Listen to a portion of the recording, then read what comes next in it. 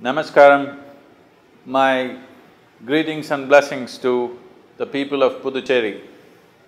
When you live in a small state like this, a small entity,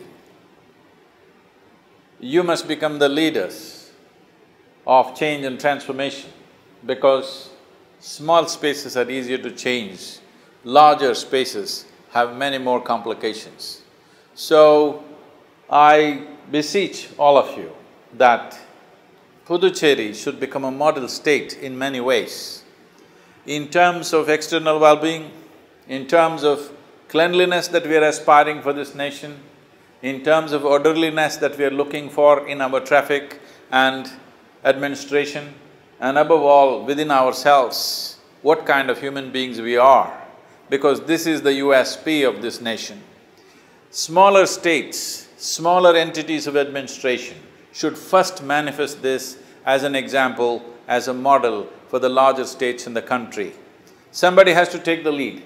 I believe that smaller entities like this can set the pace and set the way and be a true example for the larger nation.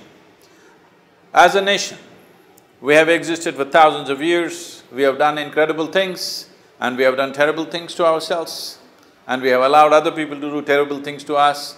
It is time that every one of us understand this is our country, this is our land, this is our culture.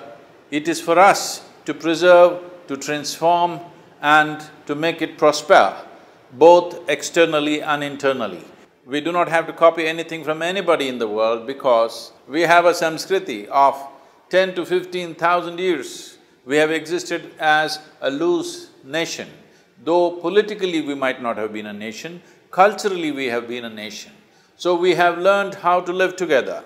We have learned how to exist with a phenomenal sense of diversity. It is time that Puducherry sets a example and leads the way. This is my wish and my blessing. Thank you very much.